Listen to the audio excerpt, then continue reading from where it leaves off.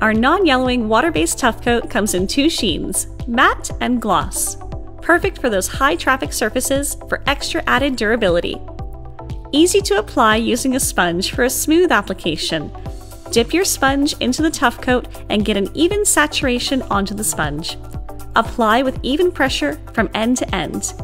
If your climate has a low humidity and you need a longer open working time, add our Fusion Extender to avoid creating texture.